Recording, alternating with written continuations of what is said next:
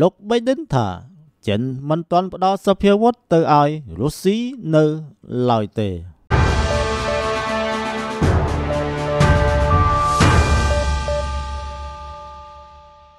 ប្រធានាធិបតីអាមេរិកលោកโจ Biden ជឿជាក់ថាប្រទេសចិនមិនទាន់ផ្ដល់អាវុធទៅឲ្យប្រទេសរុស្ស៊ីនៅឡើយទេចាប់តាំងពីសង្គ្រាមអ៊ុយក្រែនផ្ទុះឡើងជាលើកដំបូងរហូតមកដល់ពេលនេះលោកបានតាមដានព័ត៌មានជាហោហែរយៈពេល3ខែចុងក្រោយនេះហើយចុះផ្សាយថាប្រទេសចិនមានគម្រោងបញ្ជូនសភាវុធទៅឲ្យប្រទេសរុស្ស៊ីជាក់ស្ដែងពួកគេមិនទាន់បញ្ជូនទេទោះបីពេលនេះពួកគេមិនទាន់បញ្ជូនទៅមែនប៉ុន្តែមិនមែនមានន័យថាពួកគេនឹងមិនបញ្ជូននាពេលអនាគតទេ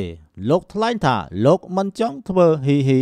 មិនយកចិត្តទុកដាក់ចំពោះសកម្មភាពរបស់ប្រទេសចិន និងរុស្ស៊ីទេគ្រាន់តែថាពេលខ្លះរបាយការណ៍នានាហាក់ដូចជាឲ្យតម្លៃខ្ពស់ពេកទៅលើប្រទេសទាំងពីរនេះឬនិយាយពន្លើស ពីសកម្មភាពរបស់ពួកគេពេកលោក Biden បញ្ជាក់ថា នៅពេលនេះក្រមបច្ឆមលោកកំពុងរួបរวมសាមគ្គីគ្នាយ៉ាងជិតស្និទ្ធដូច្នេះបើមានព្រឹត្តិការណ៍អ្វីមិនស្រួលកើតឡើង យើងនឹងចាត់វិធានការឆ្លើយតបដោយម៉ឺងម៉ាត់ជាងពេលមុនមុនទៅទៀតលោក Biden លើកឧទាហរណ៍ពីការពង្រឹងសម្ព័ន្ធភាពនៅតំបន់ប៉ាស៊ីហ្វិកដូចជា មួយក្រុមប្រទេសខ្វាត់ដែលមានឥណ្ឌាជប៉ុនអាមេរិកនិងអូស្ត្រាលីនិងពីរក្រុមអូដឺដែលមានអូស្ត្រាលីអង់គ្លេសនិងអាមេរិកគួរកត់សម្គាល់ការថ្លែងការណ៍របស់លោក Biden ពាក់ព័ន្ធនឹងប្រទេសចិននោះធ្វើឡើងបន្ទាប់ពីលោកស៊ីជីនភីងបំពេញទស្សនកិច្ចនៅទីក្រុងម៉ូស្កូកាលពីប៉ុន្មានថ្ងៃមុននៅក្នុងឱកាសនោះមេដឹកនាំចិននិងរុស្ស៊ីប្រកាស